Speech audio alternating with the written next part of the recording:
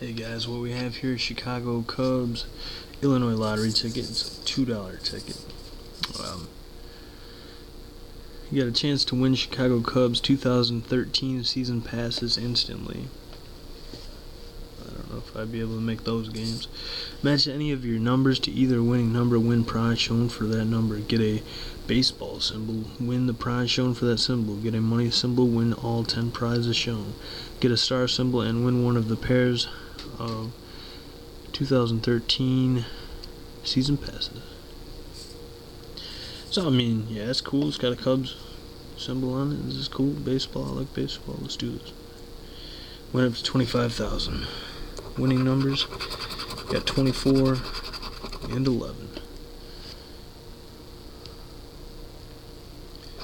First thing we got here is an 8, 3, 17,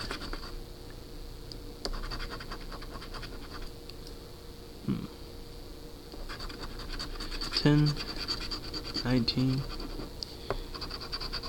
18, 12, 1, 16, 7. And I do think that this is a losing ticket. Yep. Alright, thanks for watching. Subscribe if you're not subscribed.